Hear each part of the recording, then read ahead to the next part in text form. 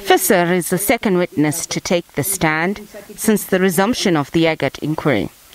She testified that she was tasked with taking down Dr. Neil Aggett's statement after he had complained of being assaulted and tortured by security branch police.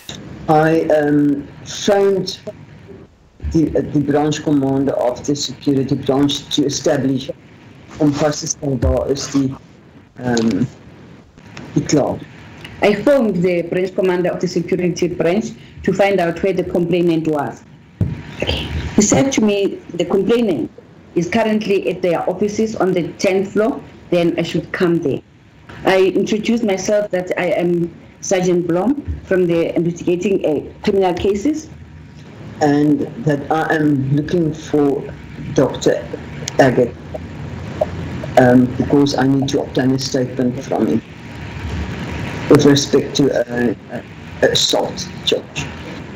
At the time, Visser was investigating seven other cases of allegations of assault of detainees in prison and says the branch commander who she consulted with was Major Arthur Cronwright.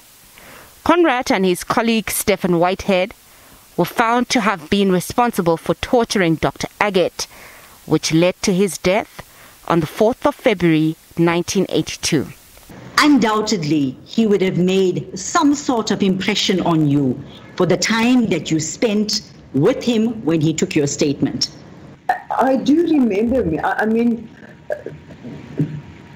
I do remember him. Yes. And I'm sorry that he passed away, but I cannot force to remember.